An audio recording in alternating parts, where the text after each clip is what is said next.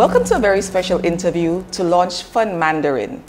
Fun Mandarin is a Mandarin learning program, a collaboration between the Taiwan Embassy, Taiwan Technical Mission, and the GIS. Today, we're coming to you from the Taiwan Embassy, where we get an opportunity to speak with His Excellency Peter Chen, as well as Mandarin tutor Ting Ting.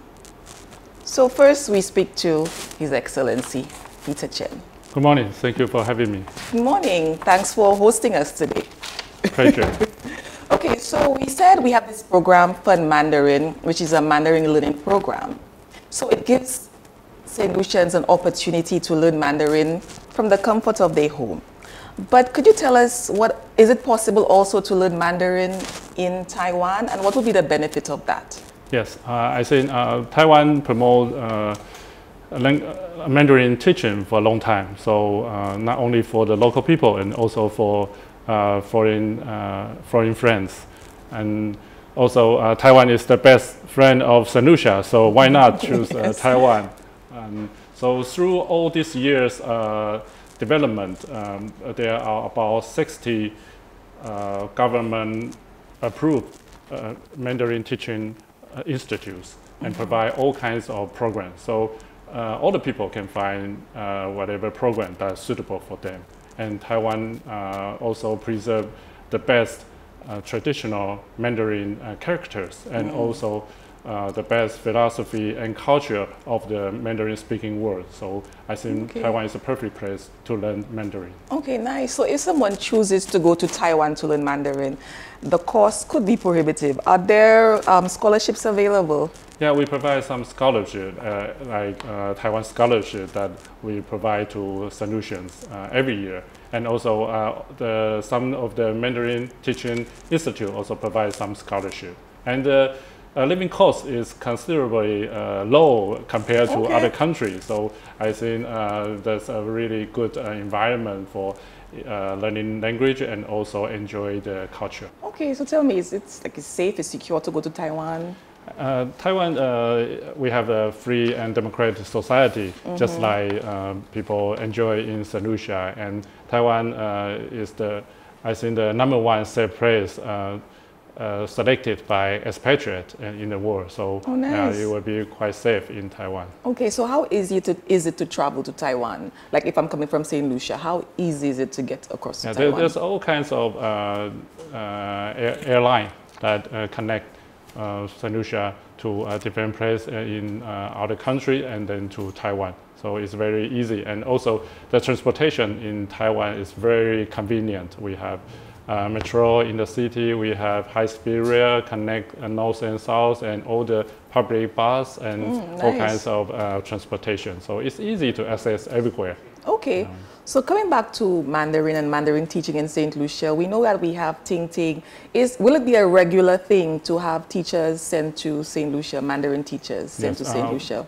We are really uh, glad that we have Ting Ting uh, coming to St. Lucia to promote Mandarin uh, course. And now we are working with uh, Ministry of Education to uh, try to figure out a, a, Mandarin curriculum for school. And oh, nice. I really admire the leadership and vision of Prime Minister Philip J. Pierre and Education Minister Shawn Edwards to enhance or promote Mandarin or foreign language uh, mm -hmm. in school uh, education. And so that's why uh, I think very soon we will send a, a new Mandarin teacher uh, coming over to uh, try to promote or enhance uh, Mandarin education. So you're saying like in secondary schools we could have Mandarin? Yes. Okay. Yeah, so uh, hopefully uh, in the near future we will start uh, teaching Mandarin in secondary school. Okay. So, well, thank you, Ambassador. Is there anything else you want to tell us about like the future plans? because promoting Mandarin or promoting cultural exchange is also one of the goals of my embassy. And uh, this year, we are glad that we implement the first ever uh, test of uh, Chinese as foreign language uh, in Caribbean region. And hopefully in the future, we will have more uh, that kind of test and encourage more people to try to learn a Mandarin or to uh, emerge in different culture. Okay, great. Thank you so much, Ambassador. So now we're going to take a look at the first episode of Fun Mandarin. And then when we get back, we'll have a chat with Ting Ting. Right? Thank you. Thank you so much, Ambassador. And later on, um, you're going to be presenting to our the Ministry of Education, the program. So, guys, just stay tuned. A lot more to come up.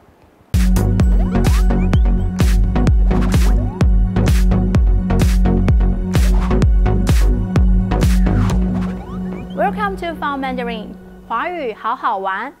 I'm Ting Ting from Taiwan Technical Mission. What do you know about Mandarin? Well, first one, I would like to talk about characters. It seems complicated. Actually, it is. Characters are very different from the alphabet system.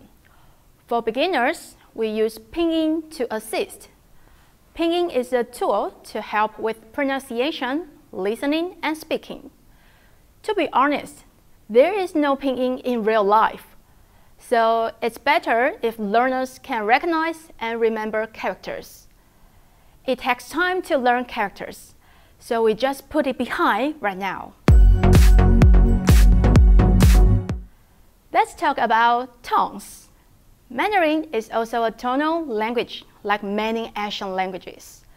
Different tones means different things, even the word is composed by the same initial and final. For example, E, E, E, E. They're different things. Let's try together. E is a high flat tone. Try to keep saying words in this tone. Sounds like robot, right? And E is rising tone. It's rising, so you need to be pronounced from low to high, like E, E. It's a low tone. The original tone is like a, a check, the high, low, and high. E, E. However, we only pronounce the first part, short, low one, E, E. And last, E is a falling tone. It's a bit difficult. You need to think you are excited. Imagine that you are watching a soccer game and the game hits up. The player is going to shoot. What will you say? Like, go, go. Yeah, so pronounce E like that. E. Okay, so more practice. Let's see the other group. Ma, ma, high flat, ma, and ma, rising, ma, and short low one, ma, ma, and falling, ma, ma. Okay, after tones, let's talk about personal pronouns. 你 it means you, 你 and 我我 means I, 我 and 他 他他 means he. Can you distinguish the tones of the personal pronouns? 你我他 Let's learn how to say hello in Mandarin. 你好 One more time. 你好 Hao means good or nice. So 你好 means you good and actually the meaning is hello. 你好你好 Alright, let's learn a word 是 It's a falling tone. 是是 is verb to be. And in Mandarin, there is no tense, neither verbal conjugation. So we say 是你是 you are 我是 I am 他是 he is 是 So we can use the word and put a name after like 我是婷婷 I am 婷婷我是婷婷 like that Except name, we can also put nationalities. So let's learn some countries. Uh, St. Lucia, 圣露西亚.圣露西亚. So if you want to say, I am St. Lucian, 我是 圣露西亚人，we put 人 means human or people in the end. 圣露西亚人，Saint Lucia, people from Saint Lucia. Okay, again. 我是圣露西亚人。So let's learn how to make questions. We just need to put ma in the end of sentence. it will become a question. So, are you St. Lucian? 你是圣路西亚人吗？One more time. 你是圣路西亚人吗？Put ma in the end. So, what's your answer? 我是圣路西亚人。I am St. Lucian, right? 我是。圣露西亚人。And let's learn the other question particle called ne. Ne. It's like to ask bonus questions. 你呢 means and you, how about you, or what about you? 你呢 So the sentence 我是圣露西亚人，你呢 Okay, but actually I'm not Saint Lucian, I'm Taiwanese. So I would say 我是台湾人，你呢？我是台湾人。Okay, so after we have we learn the personal pronouns, 你呢 means and you, and how about and he? How to say and he? 他，他呢？他呢？And the sentence, 我是 台湾人，他呢？And 他也是台湾人，也 means also or to or either。他也是台湾人。So wait, let's practice the tones. Tones, okay. So the high flat tone, ma, Ma, ma, ma, uh huh, high Ma. and flat, ma. ma, Okay, good. And the rising one, ma. ma, Mhm, From low to high, Ma.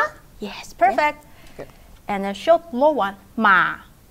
ma, Mhm. ma, Yeah, one more time. ma, Yes, ma. ma, Mhm. ma, Yes, good. Okay. And the falling one, ma. ma, Mhm. Try one more time. Ma. Ma, Mhm. Yeah. I think you are excited. Ma. ma, Mhm. Hmm. Okay. So Ma. let's try the other group. The uh, first one, E. e, E. e, Mhm, High and flat. E. e, Okay. And the rising one. e. No? Good try. okay, let's try again. So you do Uh, it. It's E. E, Mhm, E. e, Okay. e. Yes, it's rising. So it's E. rising. E, Mm-hmm. e, Yes, good. And the short low one, E. e, E. e, Mhm. e, Like when you say well, uh, e. mhm. And the falling one, falling, excited. E, Yes, E. e. 你好，我是婷婷。你好，我是何么？你是台湾人吗？我是台湾人，你呢？我是圣露西亚人。咋呢？我也是台湾人。华语好好玩，I hope you have fun learning Mandarin with me today。我是婷婷，See you next time。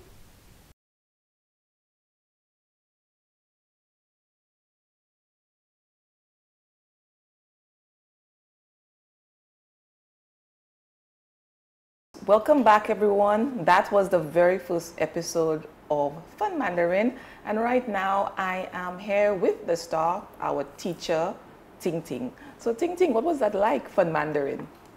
So there are eight episodes of this show, and the content is all about the common life topics, such as personal information, greeting, family, ask for price, and order in a restaurant. Mm-hmm. It's basically the conversations that happen in our daily life every day. We want to bring the most practical conversations to our audience. Very nice. So, how did you feel when you were told you would be the host of Fun Mandarin? Oh, wow. Honestly, I didn't think I can do that. When I heard that, the first word came out was impossible. because, I mean, I have no experience and I have no idea how to do and what to do. I'm very grateful to the professional team. They have given me a lot of useful advice. Then we did it.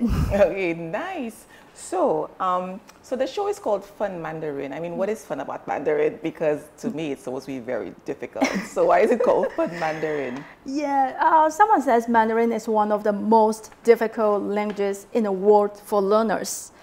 Have you ever heard that? I've heard that. yeah, but in my point of view, Mandarin is not as difficult as people think. I would say it's different, not difficult. Okay. Yeah, because I think each language has its own uniqueness. So be positive, no need to be afraid. Learning can be fun, and just believe we can do that.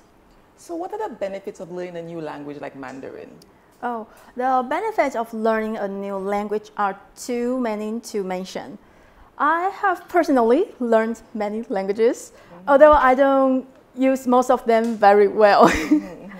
I think it's important to be curious about new things. Mm -hmm. They will make people more positive and optimistic. Okay. And without a doubt, learning a language will help people in a future career because you will have you will be more aware of the world and more accepting of new things. That's what I think. Right. So people say it's not easy to learn Mandarin. Do you think that's true? Well, as I said, each language is unique and learning any new language can be challenging. I don't think Mandarin is any different. Of course, for countries that use a Roman alphabet, uh, learning Mandarin can be more challenging. But for some Asian countries, Mandarin is easier than English. For me mm. personally, English is not easy to learn either. yes, I've heard that. yeah. yeah, I spend a lot, a lot of time learning English at school. So I think it's because of region, not so much about the language itself. Right. So what do you think? Do you think there are similarities between Mandarin and English? Are there any similarities in the language? Yes, uh, we use a, we, we use the same sentence structure like subject, verb, object, but I don't want to mention too much about linguistics. Okay, so what has your teaching experience been like in St. Lucia? Because you're a Mandarin tutor here. Mm -hmm. What has that experience been like? Uh, St. Lucia is a beautiful island, and the people here are friendly and welcoming. I met a lot of nice people here, and I think it will be an unforgettable memory in my life to be here. Okay, so what are your students like, the students that you've had in St. Lucia? Uh, most of students I have met are bright and enjoy learning, and they are quick learners. I think it's because most of the students have experience in learning other languages. So they can get language feature more quickly. And I have experience of teaching in other countries, and I found that St. Lucia students are more energetic and motivated oh, than in other countries. Oh, nice. Okay, Ting Ting, thank you so much. And thank we're going to keep watching all episodes of Fun Mandarin, the yes. eight episodes. Mm -hmm. So right now, we have a handover from Ambassador Chen to Dr. Pauline Antoine Prosper, the Parliamentary Secretary in the Ministry of Education. Uh, today I'm uh, really honored and uh, pleasure to uh, hand over the USB of uh, Fun Mandarin uh, material. And this material is a hard work and masterpiece of our Mandarin teacher Ting Ting and also Ms. Damila Lee and all the staffs from NTN. And I'm really glad that uh, we have strong support from Ministry of Education. And today we are honored to have uh, Honorable Parliamentary uh, Secretary Pauline Antoine Prosper with us today. and I'm going to hand over this uh, USB to her, and I, hopefully this uh, material will benefit all the people that are eager to learn new language, to learn new culture, and to expand their horizon, and especially for all the students uh, in the secondary school.